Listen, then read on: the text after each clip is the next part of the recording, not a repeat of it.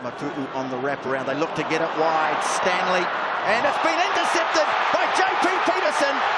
And he's got a clear run to the line. JP Pietersen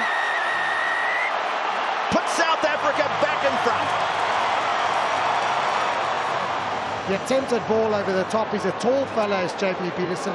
Got those outstretched stretched arms up. And as soon as he had ball in hand, he had the tight five trying to run him down. He was never going to lose that race. du Preez sees space out to the right.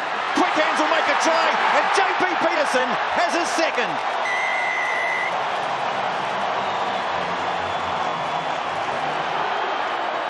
Held up just short, pumps it away to Lambie,